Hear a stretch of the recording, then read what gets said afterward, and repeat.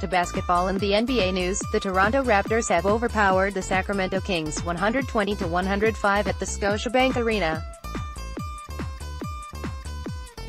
The visiting Kings led 34-29 after the first quarter. Toronto fought back in the second, taking a four-point lead at halftime.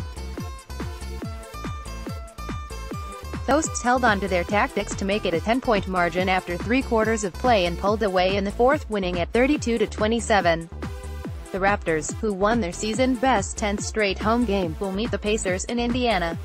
And on Saturday, the Kings will pay a visit to the Memphis Grizzlies.